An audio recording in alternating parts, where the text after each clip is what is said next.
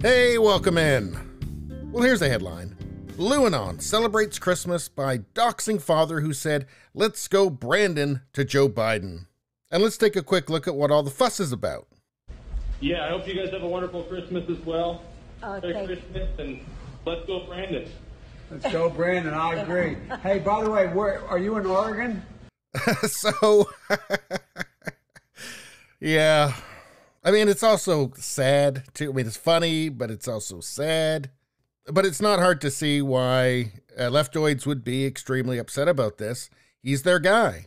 This is the guy they voted for. And you'd think by now he would understand he was being trolled there. But he's not really with it. So, again, it's kind of sad. It does seem a bit like elder abuse at this point.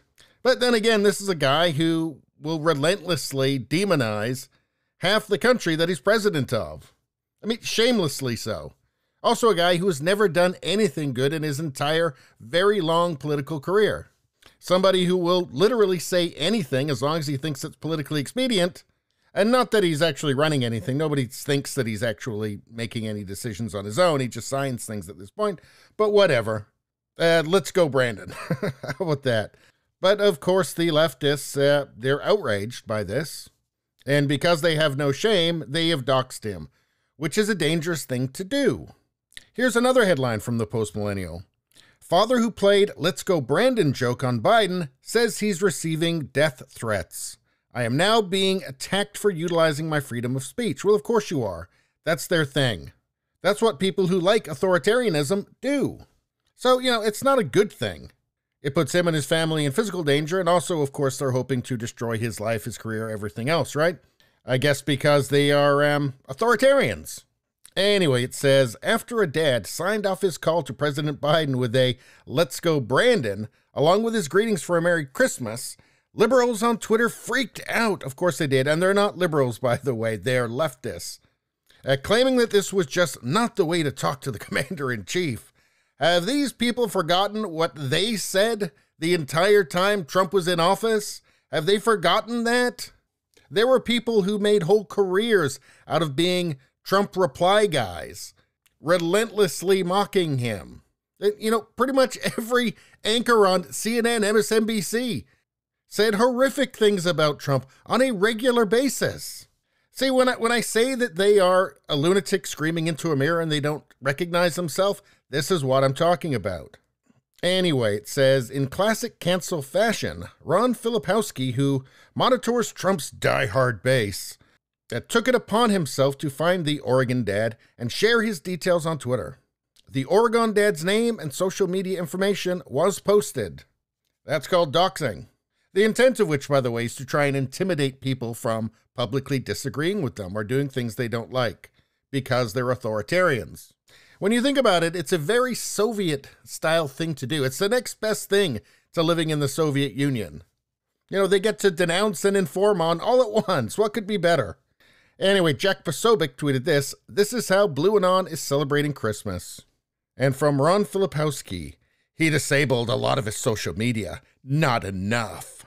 And there's something from another cretin here. Uh, his YouTube account is still up.